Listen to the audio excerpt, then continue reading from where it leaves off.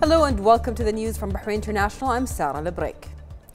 His Majesty King Hamad bin Isa Al Khalifa issued Decree 83 of the year 2020 restructuring the Board of Directors of the Labour Market Regulatory Authority under the chairmanship of the Labour and Social Development Minister.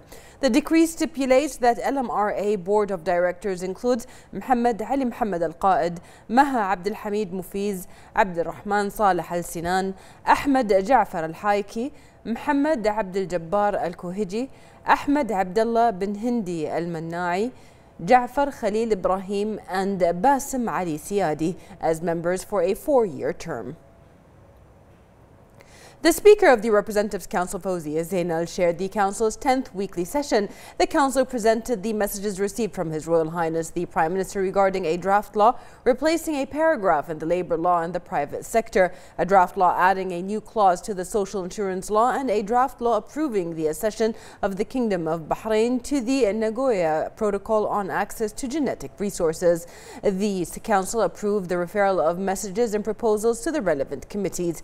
As for parliamentary parliamentary questions, the Council reviewed the response of the Minister of Justice, Islamic Affairs Endowments to the question on monetary and non-monetary secretariats at the Ministry.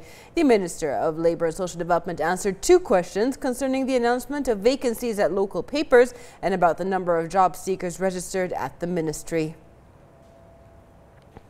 The Minister of Education, Dr. Majid al-Nuaimi, announced that the Kingdom of Bahrain has made an unprecedented educational achievement in the results of the Trends in International Mathematics and Science Study, TIMSS 2019, which were announced today by the International Association for the Evaluation of Educational Achievements, the IEA, based in Amsterdam.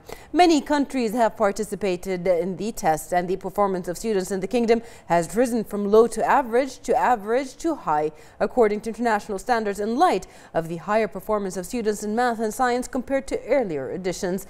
al-Nuaimi said that the kingdom's results in these tests, were or which are held once every four years for fourth and eighth eighth grades reflect the kingdom's educational development under the patronage of His Majesty the King. al-Nuaimi highlighted that the level of educational development of countries is measured by these tests.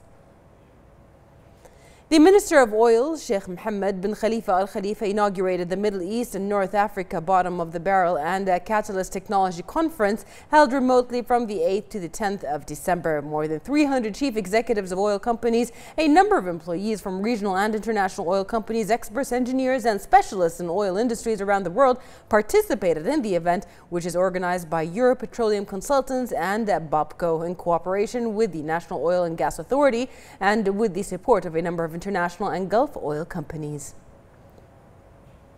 The Ministry of Health said today that the number of coronavirus cases reached 1,553 with 185 recoveries, 181 registered new cases and two deaths. 81 of the new registered cases are expatriates, 92 are contacts of active cases and 8 are travel related. The deceased were a 54 and 78 year old female citizens. The ministry expresses its heartfelt condolences to the families of the deceased and urges everyone to adhere to the rules and avoid public spaces when possible.